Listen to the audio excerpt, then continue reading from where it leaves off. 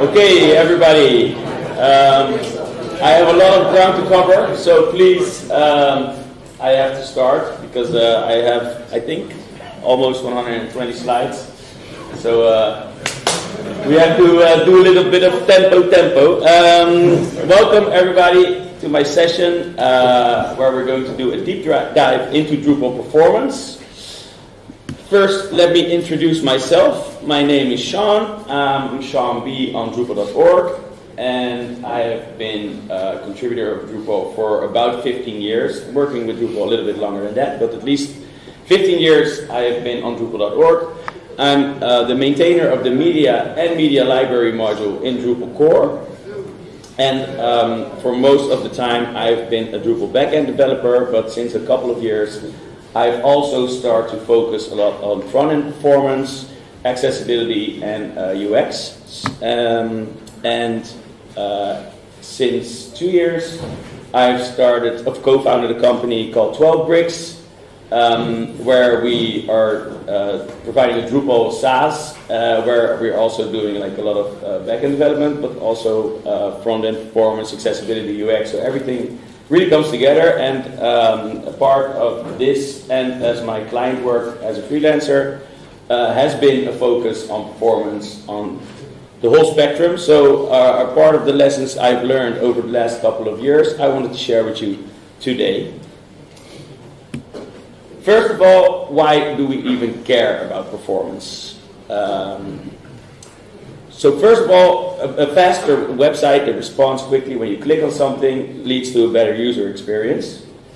And an, an increased user experience also increases sales, revenue, and conversion. And uh, that's ultimately what businesses mostly care about. So better websites, more money. Um, if a website responds quickly and does what you think it's supposed to do, it also leads to a positive brand experience. It builds trust for the user. Um, so it basically says we as a company know what we're doing, uh, which, of course, as a brand, you should want. Google cares uh, about performance. So if you if your site is faster than the site of a competitor, there's a chance that you will rank higher. Um, which ultimately leads back to more sales and money. And last but not least, uh, not all the companies care about this, but it's becoming more and more important in today's world. If your site uses less memory, uh, responds better, it, you, it consumes less resources, and ultimately leads to a lower carbon footprint and it's better for the environment, uh, which I think is a good thing, and we should all, as a developer, care about that as well. Um, here are some facts I found on the internet. Um, I didn't fact check them, but uh, I'm pretty sure it's true. So Amazon loses about 1% of its 141 billion online sales for every 100 milliseconds of latency. And that's crazy if you think about it. So, like 100 milliseconds can lead to billions of losses. Uh, the BBC risks 10% of its website visitors for every additional second of load time. And Google says that a 0.5 second site speed delay can cause a 20% traffic drop. So it, it matters. So uh, about performance. Performance is not something that you can turn on and off via a simple checkbox. I wish it was, but it isn't. So to understand how performance works, we take a look at how a simple request works when a user visits a page in the browser. Uh, so a user enters a URL uh, or clicks a link, which then sends a request to a server uh, somewhere. On the server, we have a web server running, mostly Apache or Nginx. Within the web server, we have something um, to process PHP requests for Drupal, uh, like uh, mod PHP or PHP FPM. Um, PHP then executes the Drupal code, in our case, and um, while executing the Drupal code, Drupal calls the database to retrieve data like user information or content, which the database then sends back to Drupal. Drupal creates a response, which it then sends to PHP. PHP uses the web server uh, and the server to to send the response back to the browser of the user, and the user sees a beautiful web page. Um, as you can see, there are a lot of moving parts here, and today I'm going to focus on all of these separate parts to see what we can do to tweak Drupal and, or not only Drupal, but also the server, and to, to make sure that the performance of a, a web page is as good as possible. First, the server. Uh, I'm going to skip the browser for now because there's not a lot we can do in tweaking the way the user clicks a link or enters a URL. So we get a request for a URL from the, from the browser and it lands on our server. the first thing we can do, uh, and in today's world it's relatively cheap, use proper hardware. Make sure you have a server that has enough CPUs, enough memory, enough disk space. Uh, like I said, it's relatively cheap, so please uh, make sure you have that first because you don't have enough memory to serve all the requests um, you get as a, as a site, then all the rest is pretty much useless. Um, make sure you run Linux for Drupal at least. Uh, Windows is a lot less efficient in serving uh, as a web server to serve PHP requests. So this is also something, if you have, have a choice between Windows and Linux, choose Linux. Uh, this is also an obvious one, but, but some, uh, I see a lot of people forgetting this, is update your server packages. So a lot of the software running your server is uh, continuously developed and upgraded, and a lot of the times a new version of these packages also contain performance improvements. Uh, so it would be foolish not to take use of them. Please update your server packages regularly. It's also for security, by the way. Um, this is another one, optimize disk reads and writes. Um, for uh, the, like the simple thing you can do is make sure you have a server that uses an SSD, which makes it a lot faster to read and write files from, to the server. Um, and when you have like multiple servers, I see NFS mounts as a popular way uh, to, to share files between servers. But NFS mounts can be slow if you don't configure it properly. Uh, especially when you have like sh uh, shared Twig cache files, for example. The, they are read a lot and they, you have a lot of writes to them as well. So if you have a slow Twig cache and you add like five milliseconds for each one of the hundreds of uh, Twig cache files that you need to read and write, it can slowly add up and make your pages ridiculously slow. So um, make sure it's properly configured or avoid it uh, when you can. This minimize the network overhead is also something um, that's becoming more and more of a problem in today's world where we have like Kubernetes clusters and uh, sites where you have multiple containers and failovers and stuff like that. When you have a database container that's somewhere else and a Memcache container that's somewhere else or a Solr server that's somewhere else, there's a, there can be network overhead in the, in the requests that, that are sent from your server to the, to the different backends.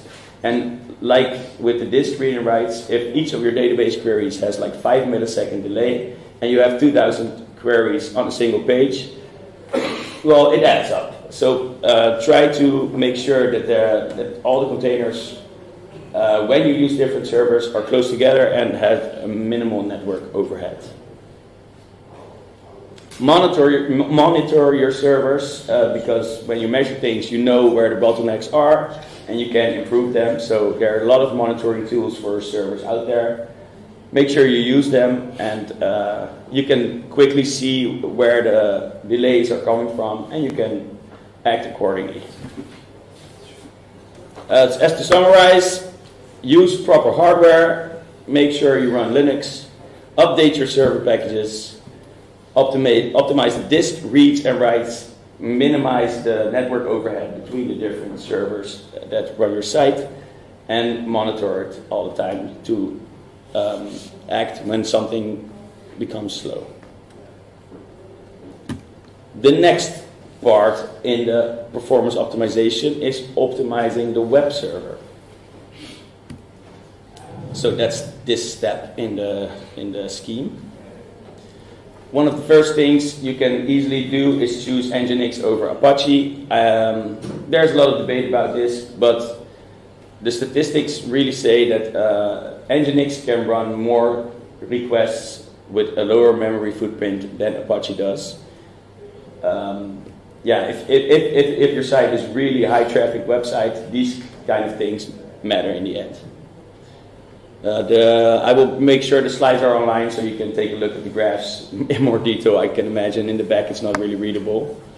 But uh, for example, this one here, it's uh, the, like the yellow one is Nginx, and the blue one is Apache. So the number of requests per second it can handle is significantly higher. Um, this is a bit technical, but in your web server you have worker processes uh, that you can configure and make sure you configure a single worker process per CPU. And a worker can handle like 512 connections. So if and then it's basic, basic math to figure out I need this many connections. Then I also need this many uh, CPUs and worker processes to make to make sure that uh, the server and the, the processes are matched. And then make sure you optimize for the expected number of connections and also don't make it a lot more, don't make it a lot less, just find a good space in between. And make, also make sure to keep the connections alive between the requests.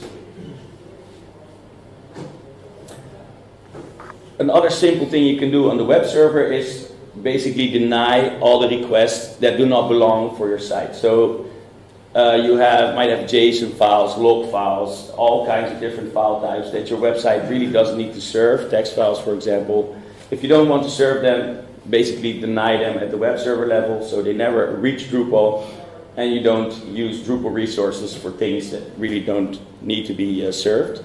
Uh, same goes for some URLs. You have a lot of bots out there scanning for WP admin, uh, WordPress kind of pages if you can deny those at the web server, even better at the firewall before it, but that's something for later.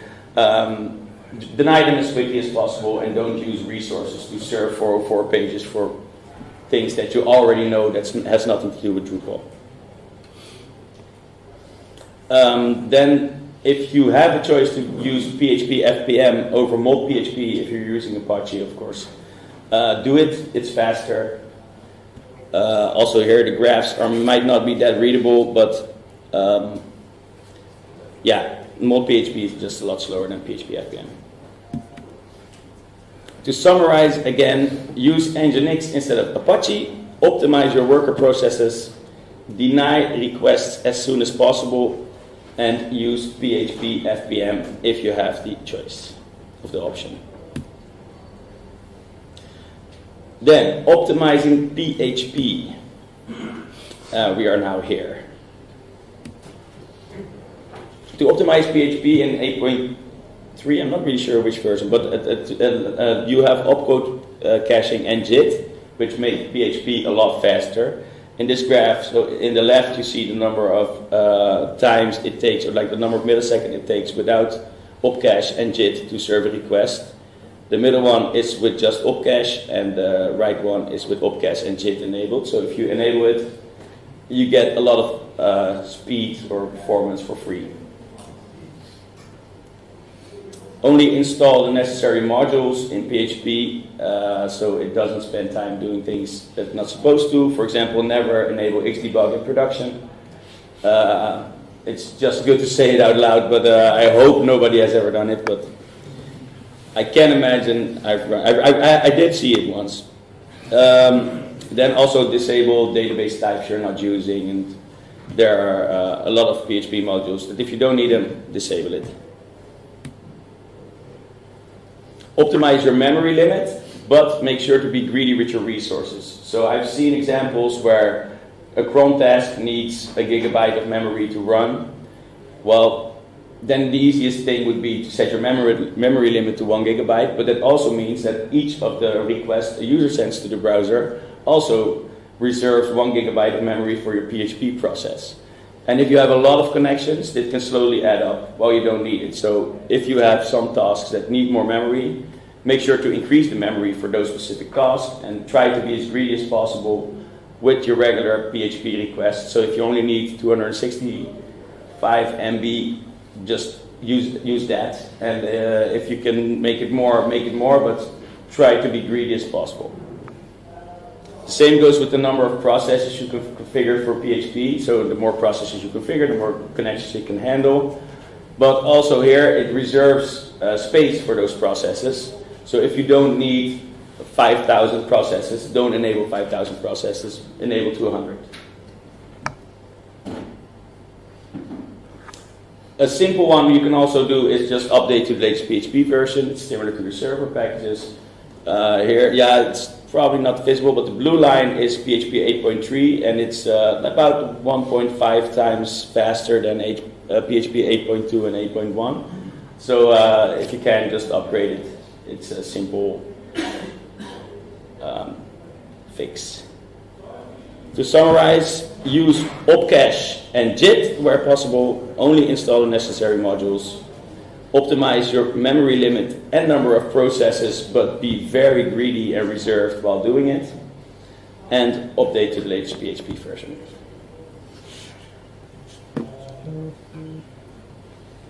Then we arrive at optimizing Drupal. So that's, that's where we are right here. And before we look at optimizing Drupal, I first want to take a look at optimizing the database since most of the time Drupal is spent is connecting with the database backends. So let's first take a look here. Um, I have two minor tips, or oh, I'll, I'll get to it. Um, first, MariaDB uh, over MySQL. Um, I know my, MySQL is getting a lot better over the years. Uh, MariaDB is a fork of MySQL which contains a lot of improvements. But in most cases, MariaDB is just faster in handling the same uh, database queries. So uh, try to use it.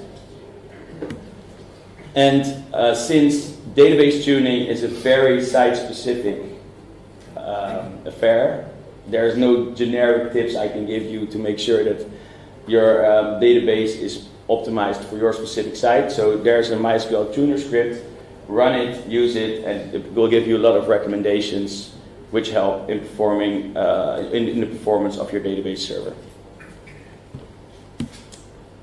Uh, so use MariaDB and use MySQL Tuner if you want to take a look at the database improvements. Another thing you can do to uh, improve your database is simply don't use it. Um, we have things like Memcache and Redis, which you can put besides of your database server, basically, something like this. And it is an open source in-memory database and cache, useful for application level caching. So what most of the time we use for uh, in, in relation to Drupal you put all of your cache information, your cache tables, put it in Memcache or Redis, uh, which it then stores in memory. So anytime you need something from the cache, it will simply talk to Redis or Memcache instead of your database. And Memcache and Redis is a lot more efficient in serving this cached information than your database is. Um, yeah, I've, I've seen like, uh, like a 20 to 30% increase for simply just enabling this. Um, and here is a nice uh, uh, graph. So you can see at the arrow they enabled Redis, for example, and this is the database performance. Well, basically your database from then on is uh, well, not, not useless, but it's not busy. so it speeds up cache data and it also can help speeding up your Drupal bootstrap. So the Drupal bootstrap is loading all your configuration, uh, loading user information, loading your translations when uh, Drupal starts, a request starts, and, it's, and it, it has to be done every request. So if you can improve that by caching parts of this information in Memcache or Redis, uh, every request becomes a lot faster. So it's a relatively simple change with, a, with big performance benefits. And here are the modules for the Memcache and Redis modules. The documentation is pretty good, so uh, if you can follow the documentation, you will probably be able to get it running.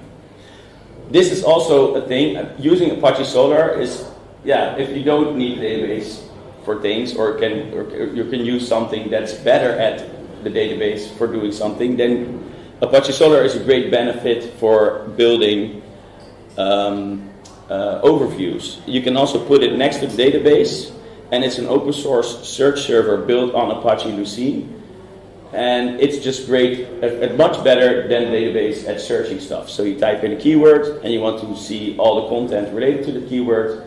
Uh, Apache Solr is built specifically to do this and do this well. Um, and if you can build a lot of the views in your site on top of Solr instead of the database, uh, not only is Solr more efficient at it, but your database has more time to do other things which Solr can do. So if you use specific tools for specific jobs, um, yeah, it, it, it, becomes a lot more efficient.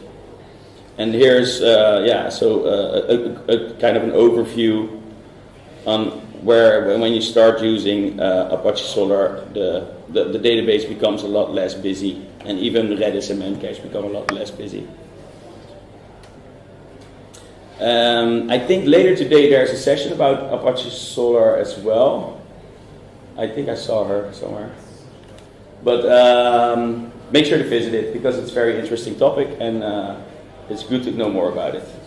The Search API and the Search API Solr modules can help you do it. Uh, then we arrive at Drupal and how to optimize Drupal. So what happens when Drupal receives a request? So you, uh, so the web server sends a request and creates a, request object, and Drupal creates a request object using Symfony.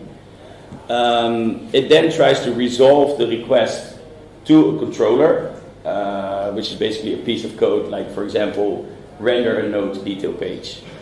Uh, then it resolves the controller arguments. Uh, so if you visit node slash four, the controller argument is four, and it needs to know to load node number four to uh, create the detail page. It then executes the controller, uh, in this case, to render the detail page of node number four. Um, after the controller builds a, a response, the response is being rendered. Uh, and the rendered response is, uh, is, again a Symfony object, which is then returned to the web server, so we can serve it to the users.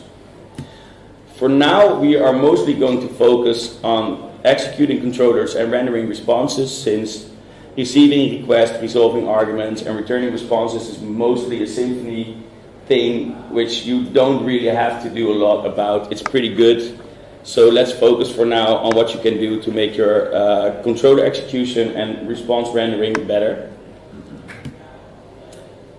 Building responses. So the first thing I advise anybody to do is when you build custom pages or, or blocks or whatever, minimize the number of entity loads.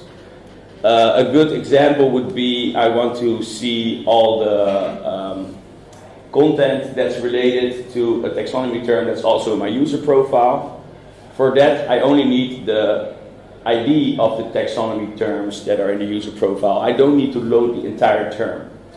So when you don't need to load an entire term entity, just fetch the target ID of the specific taxonomy term and do a query with the target ID only. So minimize the number of entity loads. Loading entities consumes memory. They are cached, uh, which helps with performance, but they are also statically cached, which means that your uh, the memory that, need, that is needed to serve a page will also increase with each entity load.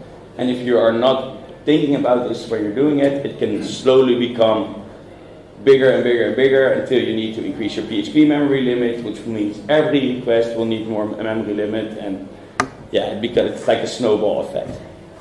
It's also very heavy on a cold cache. Like if you have large entities with a lot of fields, each of the field values are stored in a separate database table.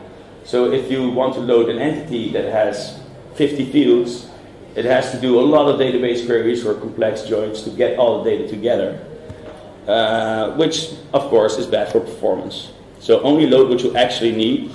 And another uh, WTF I found recently is that the load revision method does not use cache. So we had a layout builder page where each of the blocks were loading an entity and we wanted to check with the latest revision um, which data we wanted to use. So if we had like 20 blocks, we did 20 times a call to load revision. Well, we found out it didn't use cache, so my number of database queries for that single page was like 900. And once I uh, found the patch in this issue, it reduced the number of queries to like 200. And uh, the, the page load time went from 1.3 seconds to 0.2 seconds. So even if you use core APIs and core data, please make sure that everything is cached properly and that when you do build stuff, keep, a, keep track of the number of queries that it's doing. So when you increase the number of queries by accident, thinking you're doing everything right, you like the faster you find out, the more the easier it is to do something about it.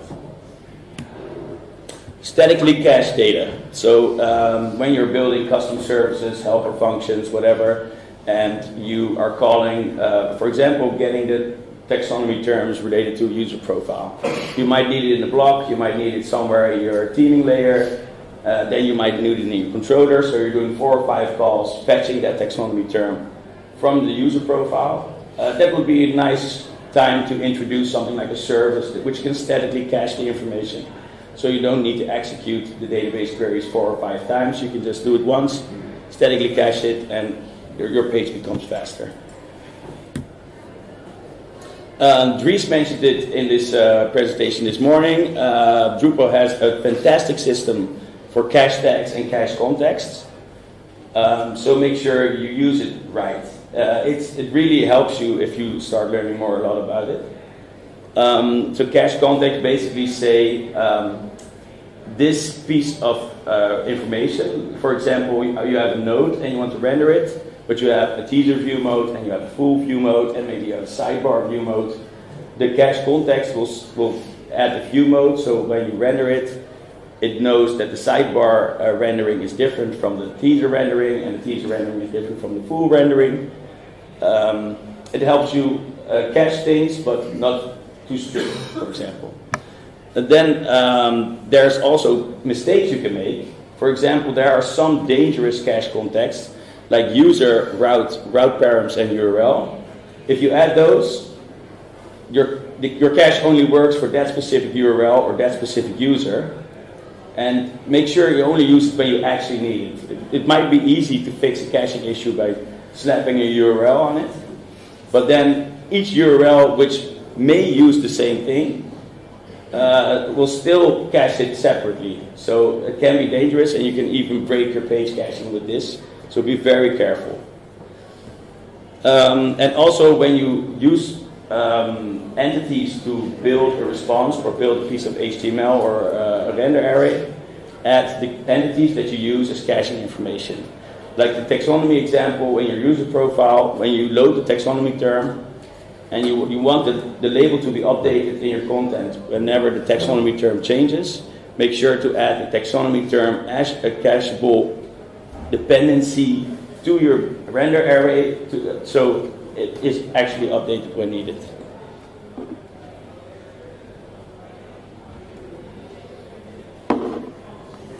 Um, optimizing render arrays. So for dynamic data, let's say we have a block in the top of your page that prints a username. A very simple example. Every user that logs in has a different username, so that would mean the page becomes uncacheable as a whole. For that, Drupal uh, thought of um, the BigPipe module and using lazy builders for that. So you can basically say this specific block, I only want to render it after the complete response is built, so you can build a complete page response without this block, send it to the browser, and then when the response is sent, it will execute the lazy builders and pop in the dynamic pieces of information so the page will still be cacheable and only the dynamic parts will uh, be slower, basically. And for things that can load concurrently, we built uh, the Ajax placeholder module that's pretty similar to the uh, BigPipe and Lazy Builders, uh, only it loads concurrently. So uh, the BigPipe blocks will still load sequentially, and the Ajax placeholder will just send 10 Ajax requests, and whenever each something comes back, it will pop the data in wherever it needs it, which is nice for building things like a dashboard. We had a user dashboards with like 20 different blocks, and each block didn't really have a relation with other blocks, so we just said, just send out 10 requests to load all the blocks, and just whenever something is done, pop it in. And the Ajax placeholder module that we wrote helps you do that. So please check it out if you want. Shameless plug here. um, so to summarize, we please try to minimize the entity loads, statically cache as much data as you can, implement proper cache tags and context, but not, and, and be careful with uh, some of them, and optimize your render arrays. So then we go to the la rendering layer of Drupal. And there's a number of things you can do there as well. Um, first one that I really, uh, uh, was an eye-opener for me is that Drupal uses Twig to render information. So when you have a node, for example, with 20 fields, and you configure them nicely in your uh, view mode, and use a formatter for them, it will create ugly HTML for you. Why? Because you have a template on the field level, you have sometimes you have a template on the formatter level, then you have a template on the node level, and all these templates can quickly add up. To render a simple node, might use 50 templates, for example. So what I now do is I make the view modes empty and use the node template only to render everything. So we don't use all the Twig templates beneath them. And there are like uh, Twig helper modules. Uh, I think the Twig tweaks module could help you pop in information that needs more complex rendering. But um, thinking about things like this, especially when you have a slow disk, read and write, for example, when the Twig cache becomes slower, these things matter. Enable Twig cache. Uh, I already mentioned it a couple of times. You can enable it in the services YAML file. Um, on production, you always want it on, and also want the debugging of on production as well. On your local environment, I don't care. Uh, just make sure that you check for it when something doesn't look as expected. A small debugging tip. Um, then the page cache and the dynamic page cache modules, they're in core. Use them. Um, they make the, the HTML responses a lot faster, so you don't need to execute the same thing twice. And uh, there is a HTTP cache control module that also helps you uh, configure better cache lifetimes for your pages. So you can not only configure how long can a browser cache this information, but also like the, the Edge caches, for example, if you use things like Varnish or Cloudflare, um, you can configure, have, have, a little bit more fields to configure the cache lifetimes of your response. So please check it out. Uh, then another WTF I found was um, the page cache query ignore module. So the page cache uses the um, URL parameters as it takes it into account while building while, while trying to determine if it can cache a response. And we had a client that was using a lot of social media campaigns. So they had all these nice UTM parameters, and which basically means our page cache didn't work because each time the UTM parameter changed, uh, it, it, it was cached differently. Um, so if, it, please make sure that you only um, vary the page cache by query parameters that actually make changes in the page itself. So if you have a search page, you definitely want to vary the cache by the search key parameter, but a UTM parameter, it doesn't really make sense. I actually learned it this year while I'm working 15 years with Drupal, so I'm kind of ashamed about that as well. Um, so reduce the number of Twig templates, make sure you enable Twig cache and disable Twig debugging in production and use the page cache and dynamic page cache modules. Um, then we get back to the, with the responses to our web server. Um, for the responses, we can do a couple of things to improve performance, like uh, caching static files. If you have images, if you have CSS, JavaScript, etc., uh, you can cache it. You also use proper cache lifetimes for that, CSS and JavaScript, etc. Doesn't change that much. So um, yeah, make sure you can cache it for about a year, and if you need it, you can add like a, a cache buster query parameter or something to make sure um, you can bust through it when you do a new deploy of your code. I have to go a bit faster, I'm seeing so. Uh, gzip the responses. Um, yeah, it's just easier for the browser to uh, handle gzip responses. And uh, when possible, enable HTTP2 or HTTP3. Uh, it, they are a lot more efficient in uh, um, sending responses back to the, to the client. So um, yeah, please use it if, if possible. To summarize again, uh, cache static files use proper cache lifetimes, gzip the responses, and use HTTP2 and HTTP3. Then uh, normally you would say we send the request back to the browser, but uh, I also want to mention things like varnish, which you can put kind of in between your uh, browser and your server. Uh, Varnish is a HTTP reverse proxy that works by cache, caching frequently requested web pages. So it only works for anonymous users, that's good to know. Um, but basically, when a request is sent, it, it, will first arrive at Varnish. Varnish will say, hey, I already sent this response. Here, I can give you the response directly. And if not, it will go through everything we just talked about. And when the response comes back, Varnish keeps a copy, so when the next user comes, it will be much faster. So all the traffic that doesn't have to hit your server is basically kept out. Uh, same thing goes for using a CDN. Um, a CDN can even you can even use Varnish and a CDN together, but for now you can use a CDN instead of Varnish as well. Uh, it's a content delivery network, which basically does the same thing as Varnish does, but it only but it also has a benefit of caching the data uh, close to the user. So if you have an American user, it will serve something from the uh, American uh, cache, and if a European user can, can, uh, can provide the data from the European servers. And things like Cloudflare, Fastly, Fastly, and Google Cloud CDN are services that provide this. Um, but make sure when you do this, you use efficient purging. So when the user updates its content, uh, we need to send a request or some message to Varnish or the CDN that the page is changed and the cache is no longer valid.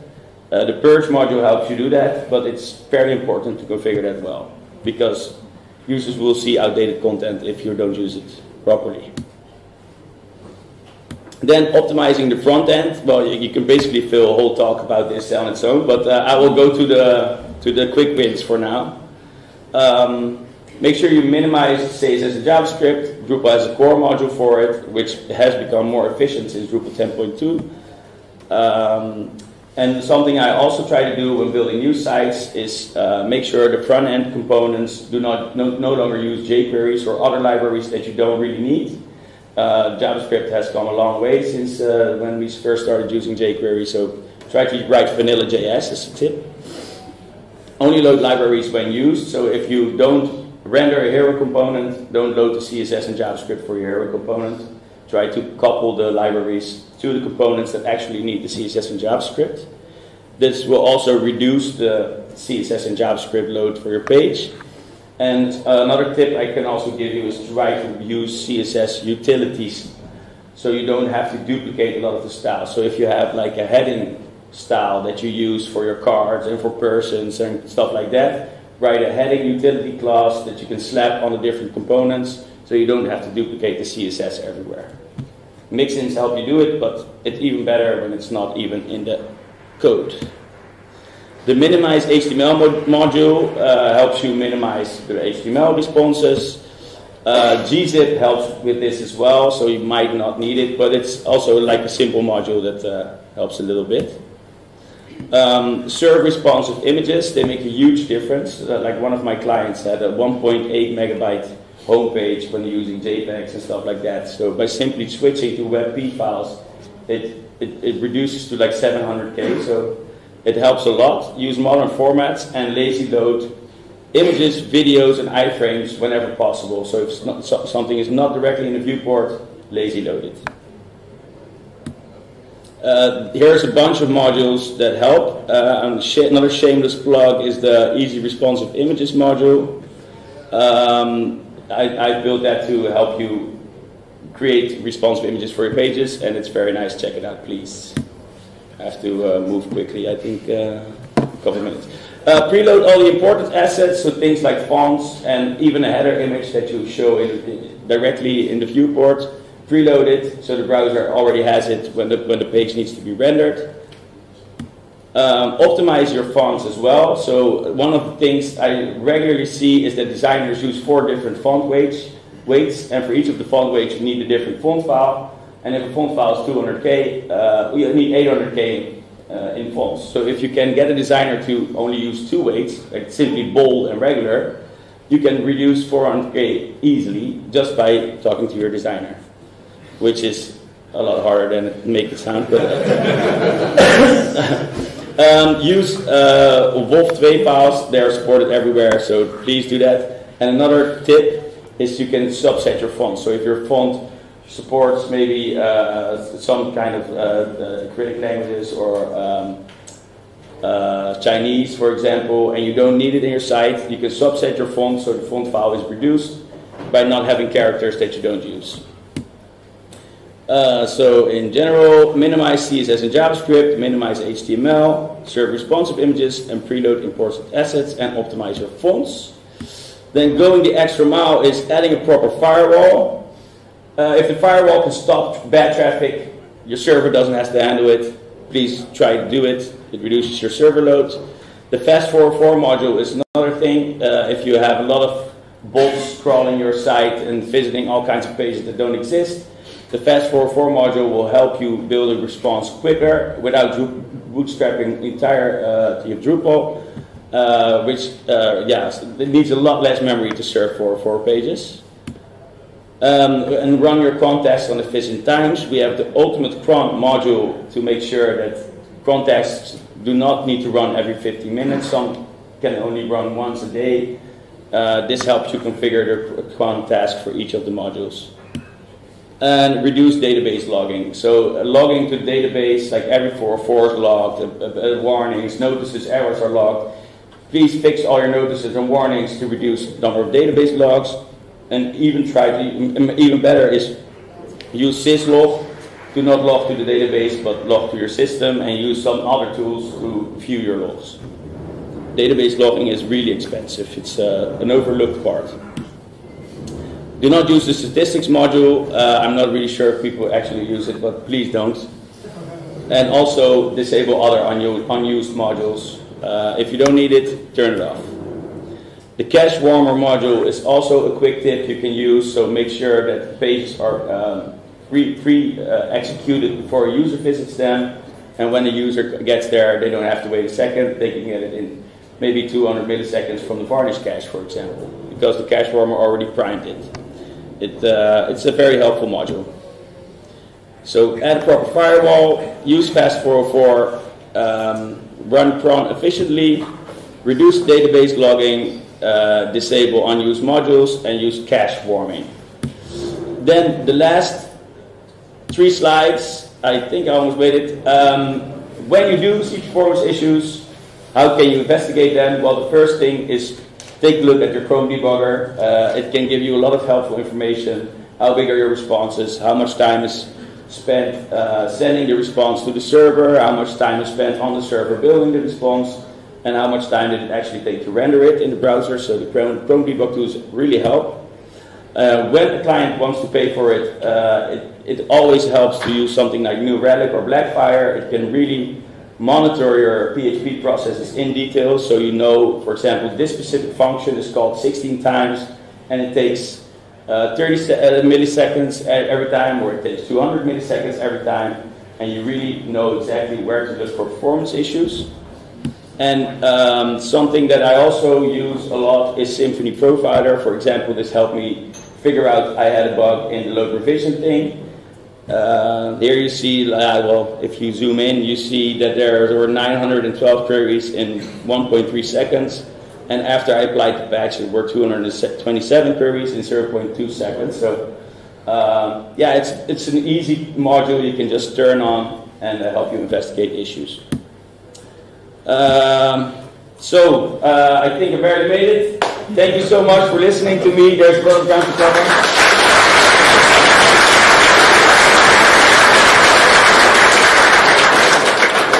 are there any questions? Where can we find your presentation?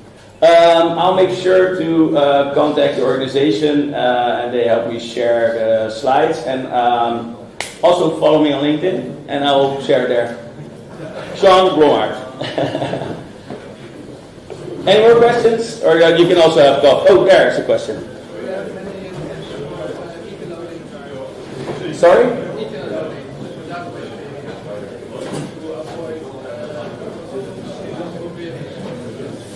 Um, ooh, uh, I, I would have to think, I think I need a little bit more about your specific use case, but um, we can talk in the hallway maybe. I think a lot of people need coffee. Um, sorry, yeah, well, uh, I, I, I talked too long. uh, please come talk to me if you want any tips or tricks or whatever. Thank you.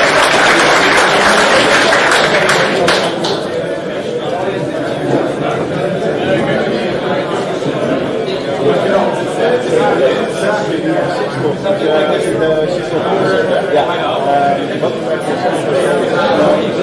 Eh,